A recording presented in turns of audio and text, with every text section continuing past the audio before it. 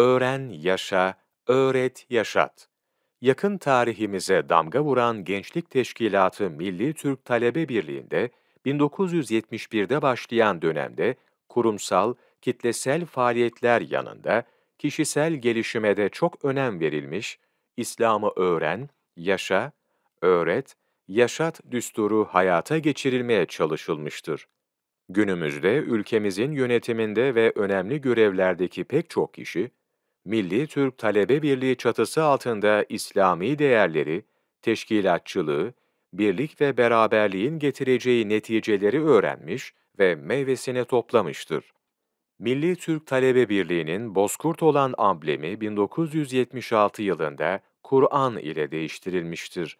1971-80 arası dönemde fetih mitingleri düzenlenmiş, Ayasofya'da defalarca namaz kılınmıştır. 56. dönem faaliyet raporundan 13 Mayıs 1977 Cuma günü 500 kadar Milli Türk Talebe Birliği'li genç Ayasofya'da namaz kıldı. Namazın basında akisleri büyük oldu. 26 Mayıs 1977 Perşembe günü, bini aşkın MTTB'li genç Ayasofya'da ikinci kez namaz kıldı.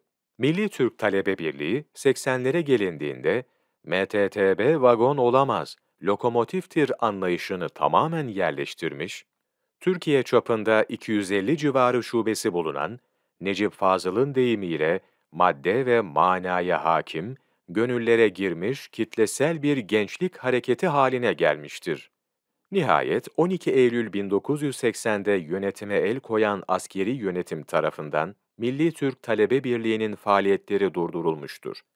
Hatta 1980 darbesinin yapılmasının örtülü ancak temel sebebinin Milli Türk Talebe Birliği'nin önlenemez yükselişinin önüne geçmek olduğu bilinmektedir. Ancak bu ocak hiçbir zaman söndürülememiş, küllense de için için yanmaya devam etmiştir. Nitekim 80 ihtilalinde Milli Türk Talebe Birliği kapatıldıktan sonra tüzüğü gereği, bütün mevcudiyeti ve misyonu Milli Türk Talebe Birliği'nin yan kuruluşu olarak 1971 yılında muhterem Ömer Öztürk tarafından kurulan Fatih Gençlik Vakfı'na devredilmiş, böylece gençliği yetiştirmeye yönelik faaliyetler her şartta aralıksız sürmüştür. Fatih Gençlik Vakfı, faaliyetlerini aynı çizgide devam ettirmektedir. Detaylı bilgi için mttb.com.tr 5 Aralık Mevlana Takvimi